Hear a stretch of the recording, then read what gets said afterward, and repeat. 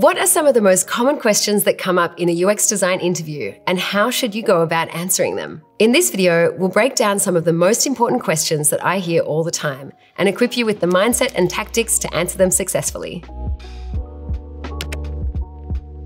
The tips, tactics, and mindset that I'm going to share with you come from years of personal experience being interviewed for UX design roles and hiring UX designers to work with me on my teams. My name is Dee, and I've been involved in design leadership and worked as a UX designer for over 12 years.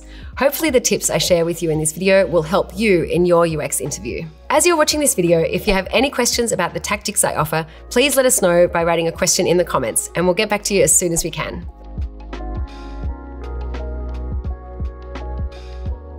Let's think first about what a UX hiring manager is really looking to ascertain from you in an interview. What this person is looking to find out is what it will actually feel like to have you working in their team. So, as well as technical ability, which is also important but not the primary goal in the interview, they want to know what will it feel like to have this person sitting next to me and work with them every day? Can I trust the decisions that they will make when I when I give them work to do? And will this person's values and way of working align with what the company wants to achieve and how the company is used to working? It's really important to get into the mindset of the interviewer as you prepare and think about how you will answer these kinds of questions. Because even though the interviewer will ask you questions that sound quite specific and even technical, what they're trying to find out is how you think, how you work, and less about the technical side and more about you, who you are, and how you will fit into that team. It's important to keep this in mind as I'm detailing each of these common interview questions and how you should answer them. And with that out of the way, let's dive into question number one, one of the most commonly asked questions in a UX interview. What is your favorite digital product and why? And the important thing to note with a question like this is they don't really want to know what your favorite digital product is, but they want to hear you articulate and clearly justify why you think some things are really good in digital products and why other things aren't, specifically around UX design. Some really common ways that this is answered, which could be considered the wrong way to answer this, is to say something like, I love Spotify or I love Netflix because they have all the things that I want and I use it every day. This is not an answer that's giving them any information about who you are and how you justify and describe good UX and bad UX features and ideas. What they're really looking for is for you to describe and articulate which UX features and the way that those products were designed to do things like enhance user engagement and get people to keep coming back over and over again to use their product.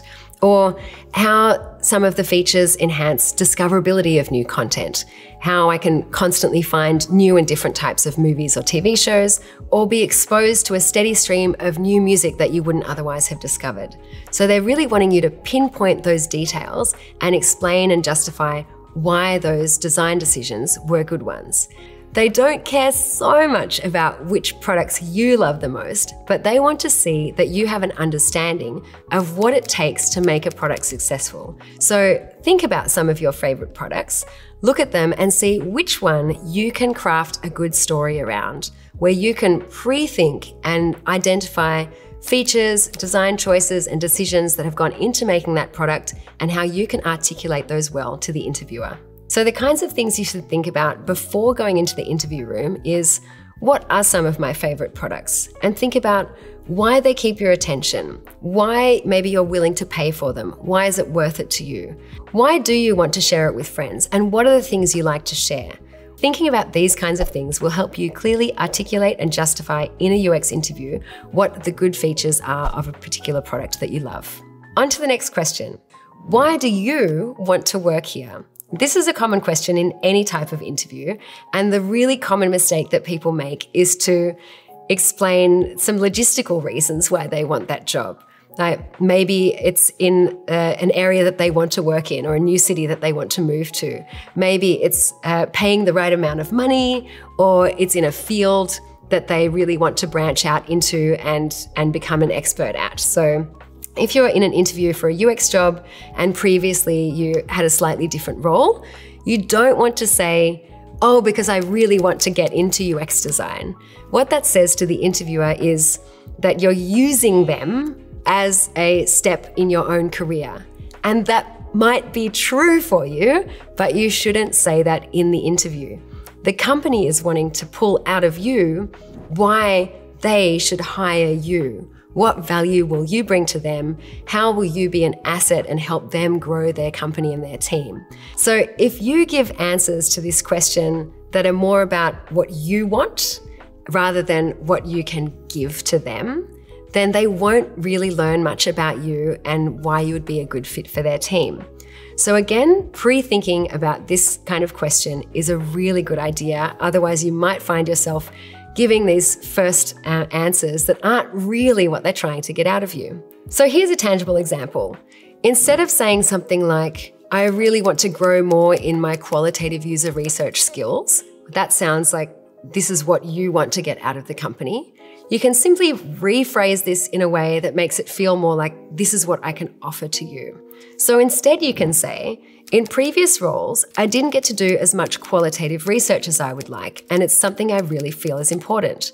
I noticed that your company values qualitative user research, and this is something where I feel like I can bring a lot to your team. So here, you've actually said the same thing, but in a way that sounds much more like you have a passion and experience that you want to bring to this company rather than saying, I want to get this out of your company.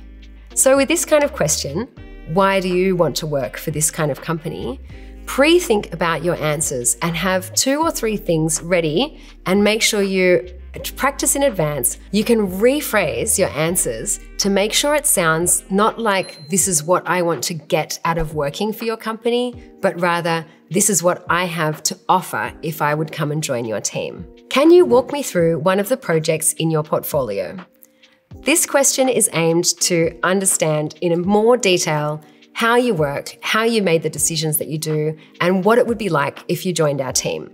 So, the way you shouldn't answer this question is to explain every little logistical step and detail of the project who was working on it, how many people, what happened, how long, all these little steps.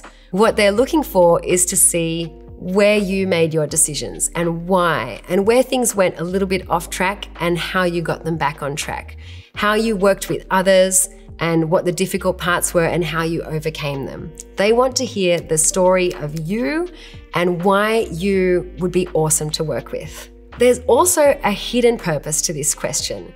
They want to see how clearly and well you communicate to them. So when they ask you a question, walk us through this project or tell us this story, they don't really want to hear the full story of everything that happened. They want to see how well you can distill and explain just the relevant details to clearly get the message across that they want to know about. So, this is really also testing your ability to communicate with people. So, here's a real example of how I would answer that question based on a project that I recently worked on. First, I'll do it a bit the wrong way, and then I'll show you the right way. So, an interviewer has just asked me, walk us through this project.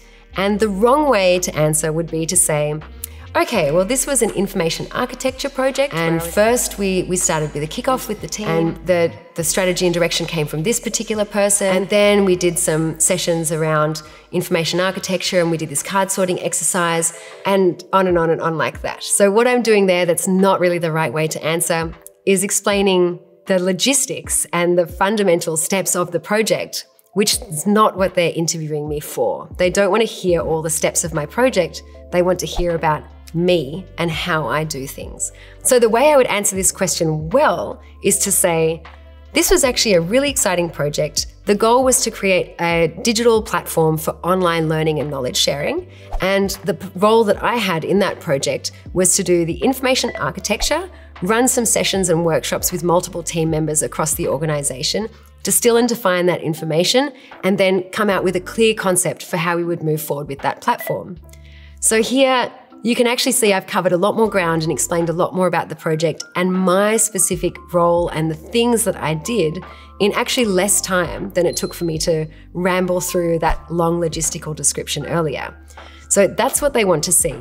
Uh, they're testing your communication skills and they also want to hear about the work that you did, how you did it, and the decisions that you made. So, with this particular question, where they're asking you to walk through a particular project in your CV, think ahead of time which project and how you would distill and define those key moments and key points that they want to hear about who you are, what you can do, and how you work. On to the last question. Describe a challenge that you faced and how you handled it. And when someone asks you a question like this, in the context of a UX interview, they're going to be meaning, What's a challenge that you faced as a UX designer in the UX design process, or a challenge you faced in teamwork but all around UX design? What they're trying to find out is how you handle difficult situations. And it's really good to think about this beforehand. Pick one or two situations that you've faced that were challenging, which I'm sure there have been some. Make sure they're real because it really does pay to be able to answer this honestly. And often, even if you made a bad decision or failed in the outcome that you were hoping to achieve, that's totally fine, which is counterintuitive, but they're really wanting to hear things like you can admit your mistakes, you can pivot and change your ideas when you know you're on the wrong track. You can work well with other people, so even if there's been a difficulty in the team, you can acknowledge that and face that challenge and move forward together. So, acknowledging failure or difficulty in this particular situation is not a downside, but actually rather an upside. The biggest mistake that you can make answering this kind of question is to pretend that you've never faced any big challenges, or if you did, you overcame them all with ease. That is not what happens in real teams and real companies. What they really want to see here is that you can acknowledge and admit when you have made a mistake, and especially that you can identify when a mistake has been made, and then you can move forward and try potential options and ways to get out of it, especially working collaboratively with other people. To give you a real example, the story that I go back to when I'm asked this question in an interview is always back to the same case. There was a project I worked on years ago where we really thought we were on the right track and we were about to launch a new product. We had done user research, we had done multiple concepting stages, been collaborative in the workplace, and even built prototypes and tested them. And then we realized right at the last minute that we had built our prototypes and done our user research on the wrong topics.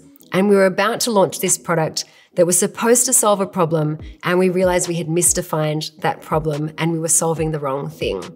So, this was a huge crisis in the team and in the company. We all felt like failures and we were afraid to ad- admit it and figure out what we should do. So, the way that we moved forward as a team was to acknowledge that we'd made a mistake that would really affect the success of our launch, that we needed to delay, hold back, and reassess and do some more work to almost start from scratch, but use what we had and reframe it in a different way.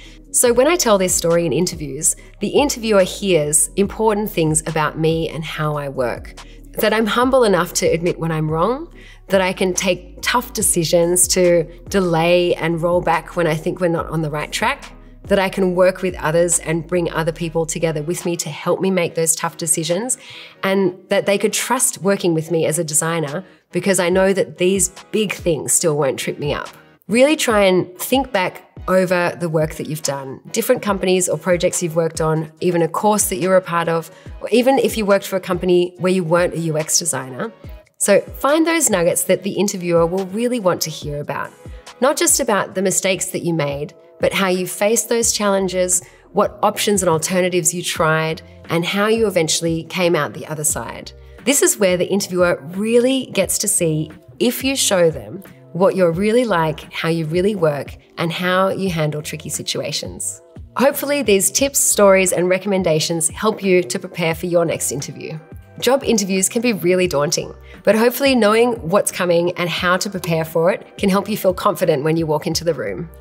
If you enjoyed this video, give it a like and subscribe to the CareerFoundry channel for more UX and UI content just like this every week. If you're interested in learning more about UX design, CareerFoundry have a great free short course. You can sign up via the link in the description below. I would love to know from you in the comments which interview tip was the most valuable to you and why. Thanks so much for watching, and I wish you the best of luck in your upcoming UX interviews. See you again soon. My name is Dee, and I've got long hair. What they're trying to ascertain, fine, ascertain sounds so clear. If you're interested, if you're, interested, slow down. Have any questions about the, ta the tactics, the tactics I offer? You'll oftenly get asked in a UX interview. Oftenly, that's a word. Cut that out.